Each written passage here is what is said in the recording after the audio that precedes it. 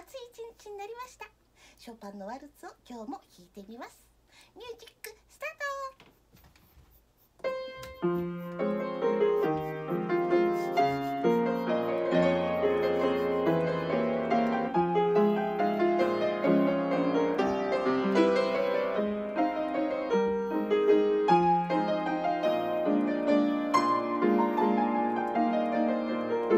ピ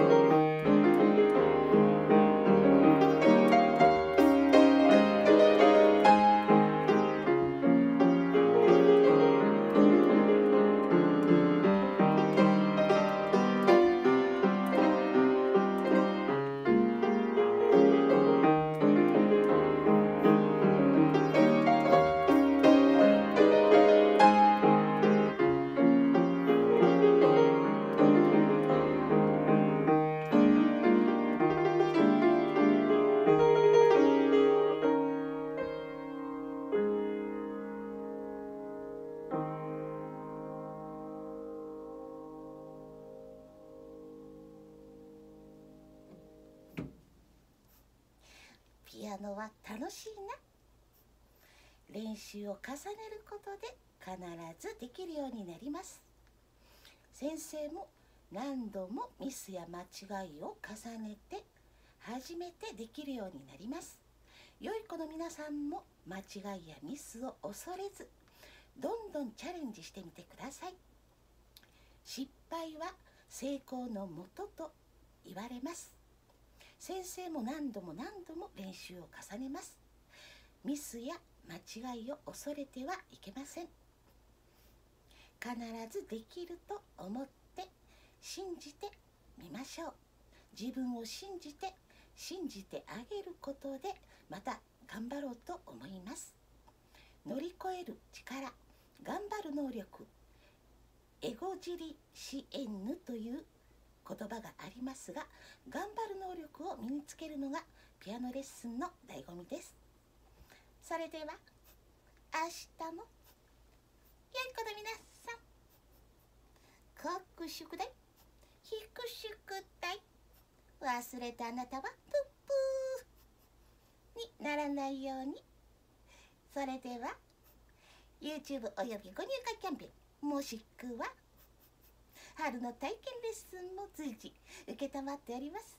CAPIMAKI4041 あと gmail.com 090-1136-4041に電話番号も変更しました。それでは皆様さようなら。バイバイ。